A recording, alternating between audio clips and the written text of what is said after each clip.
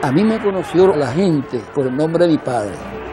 Luis Aparicio, Chico Lo más grande de Luis Aparicio es que marcó una época en el béisbol. Un movimiento que causó todo un revuelo en Chicago. Luis Aparicio está considerado el hombre más inteligente jugando béisbol en Grandes Ligas.